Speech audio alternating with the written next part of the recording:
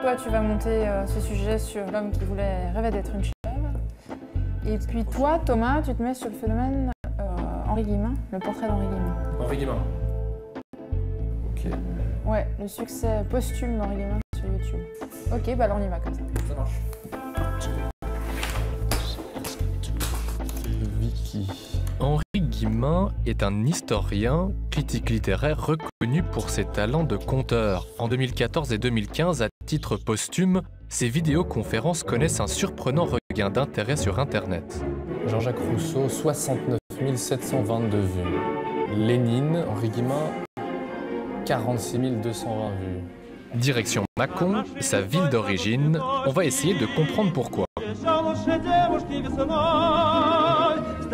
À Mâcon, le président de l'association Présence Henri Guillemin nous a donné rendez-vous dans la rue qui porte son nom. Mais ce qu'il veut nous montrer surtout, c'est sa maison À natale. gauche, là, c'est le joli Porsche du numéro 57. Voilà, c'est la maison où il est né en 1903. Et alors, monsieur Fossa, dites-moi, pourquoi Henri Guillemin est aussi populaire aujourd'hui auprès des jeunes? Ce qui leur plaît, c'est la vigueur de la dénonciation que Guillemin donne de la société, redoublée et soutenue par le fait qu'on a des médias totalement nouveaux à large diffusion. Un petit bourgeois, usant de très grosses ficelles, cyniquement, est servi par une chance admirable.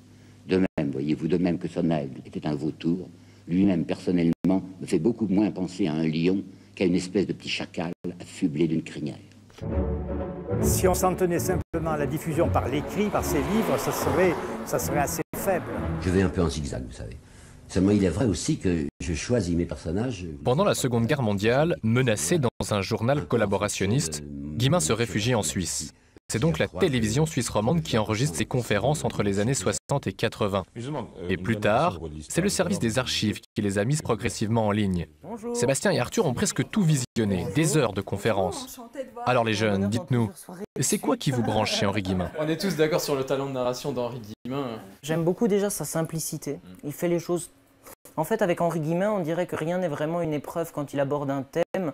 Il vous déroule la bobine comme si, comme si c'était logique en fait. Alors voyons, pour comprendre un peu ce qui s'est passé dans cette commune, je crois qu'il faut remonter par un coup d'œil rétrospectif sur l'histoire française depuis 80 ans avant la commune. Je vous rappelle que la commune, c'est le 18 mars 1871. Ce qui est intéressant, c'est la durée de consultation des, des internautes. Ils passent vraiment beaucoup de temps sur le site. Et on leur propose des formats qui sont quand même relativement longs, une demi-heure. Ils les regardent de A à Z. quoi. Une fois qu'on a fait le tour, on est quand même un peu déçu. Parce qu'on se dit, quoi? Et maintenant? Qu'est-ce qu'on fait? Bon, alors j'ai fait ma première communion à 12 ans. Et puis il y a eu le drame. Alors là, tu y vas ou tu y vas pas à la messe? Pour l'équipe archive de la RTS, le dossier Henri Guillemin est un des plus grands succès de ces dernières années. Et vous savez quoi? Il en reste des vidéos. Marielle nous l'a dit, mais ils hésitent à les diffuser parce qu'elles sont lacunaires. Retour à Mâcon. Guy Fossa nous emmène dans la campagne de Saône-et-Loire. Henri Guillemin avait une petite maison ici à Bray, et c'est là qu'il a souhaité être enterré. Ah ben voilà, celle qui est nue ici. Voilà, c'est bien ça. Henri Guillemin est mort en 1992 à Neuchâtel.